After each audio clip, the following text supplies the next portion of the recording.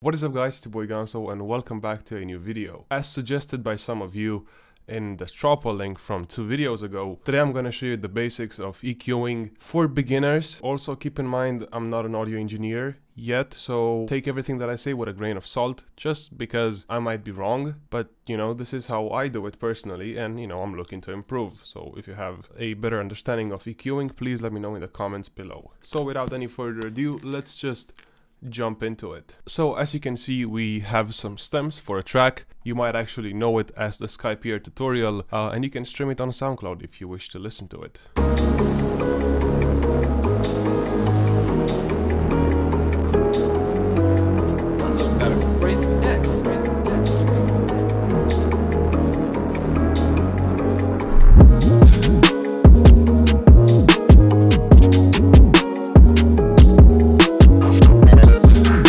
Now we're gonna try to make the stems sound like the finished track. And now I'm gonna play the unmixed stems and uh, yeah, we're gonna mix them.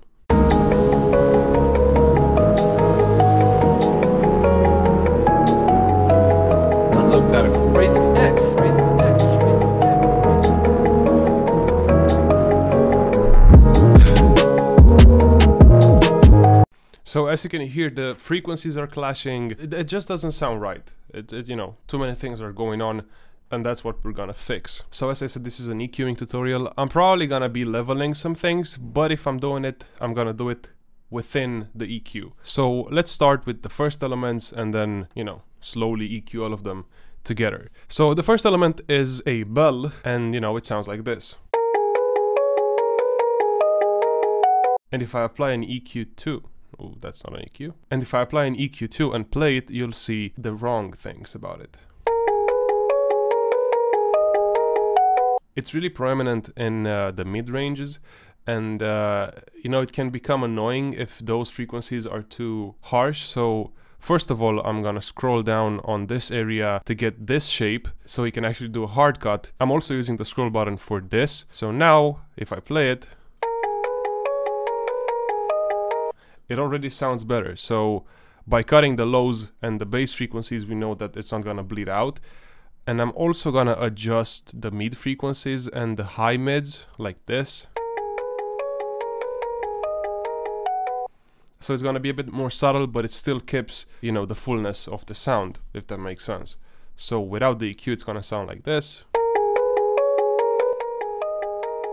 And this is a good starting point. However, when I'm done with the other sounds, uh, I'm gonna play all of them together and then adjust the EQ just so they actually sound good together while playing together. Uh, because if you mix something by just listening to that specific thing, it might not translate into the actual mix when playing the whole track. Because it might sound good alone, but then if you play something else that has the same frequencies, it's gonna sound like it's clashing and it's not good.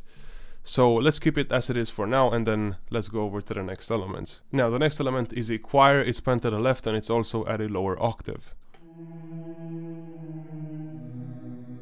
So it's pretty much a pad at this point.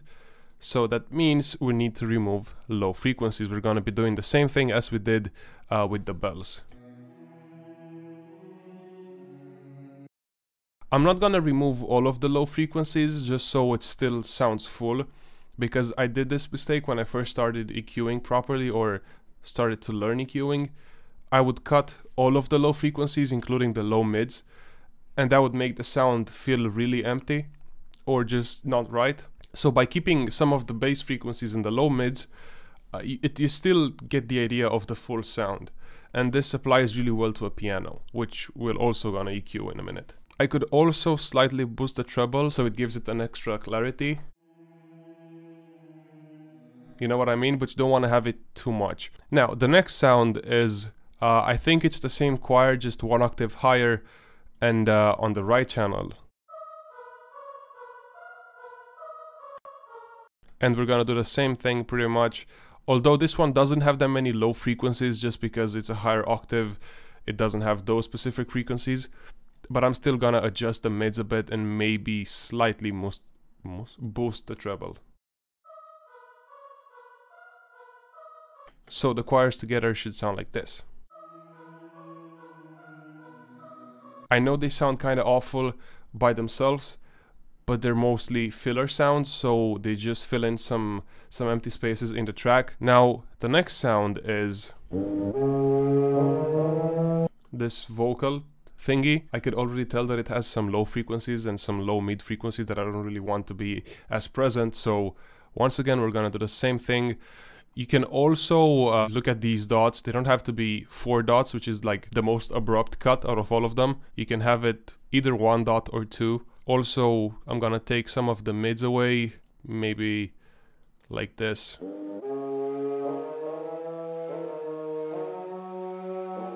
And I'm actually going to show you an example. If I uh, actually add another EQ and I do a hard cut on the low mids, it's going to sound not good.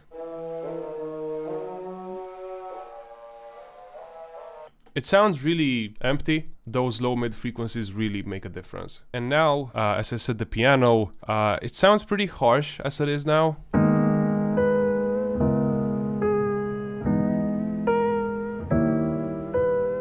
It has a lot of low frequencies, which I want to cut them out. But I also want to keep the low mids and some of the bass frequencies. So like this.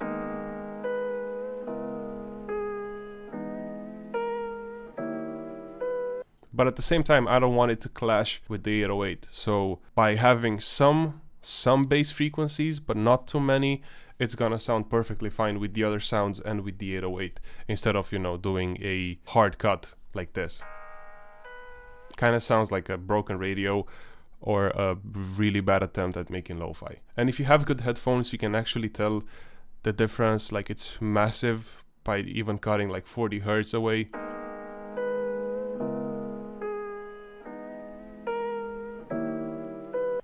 it really makes it sound good and more full. So now if we play all of the sounds together, they should sound like this.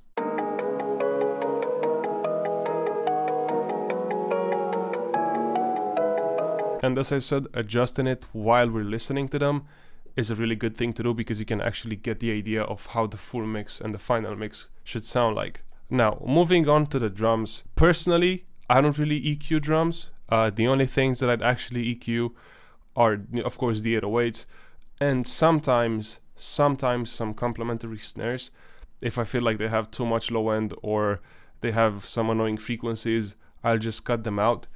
But in this case I'm not gonna do it. I'm only gonna you know EQ the 808 so now the 808 normally sounds like this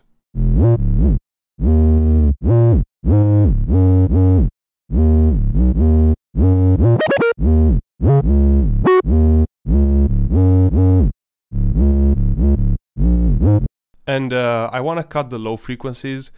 Now, when it comes to the bass, this is not like a written a rule, but a lot of people and myself included tend to do a hard cut on 35 to 45 hertz just so you don't really want to have too much going on in the in the low end just so you know it can be overpowering and it can ruin the song and uh, also when it comes to the 808, some people tend to just do an extra cut like this and cut it at like 400, 500. And it can work depending on, on the track itself. If you have really melodic 808s, then it's gonna sound a bit muddy, as you'll hear in a second. You know? So I usually do something like this.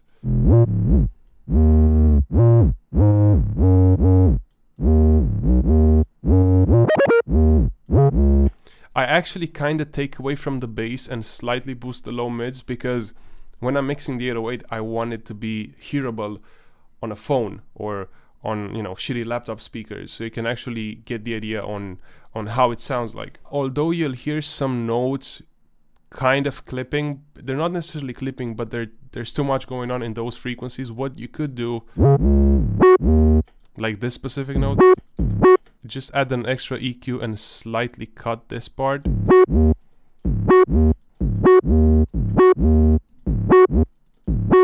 You know, it's not gonna be as harsh, which is pretty good. And that's about it with, with the 808. I, I don't wanna go too crazy on it. Of course, it's gonna depend on how the dry 808 sounds like. If I wanna, you know, distort it, then I'm gonna add a Camel Crusher or FabFilter Saturn, Saturn, I don't know. And then of course you'll have to readjust the EQ. But as I said, yeah, this is pretty much it. But I hope this video actually helped you guys out. Uh, maybe you actually got a better understanding on how EQing works and how the frequency range works. It's really important when EQing a melody compared to, you know, uh, a bass line because the frequencies that are covered by the bass line should not be covered by the melody. But as I said, I'm not an audio engineer, so I don't know how good these methods are. Maybe they're totally wrong.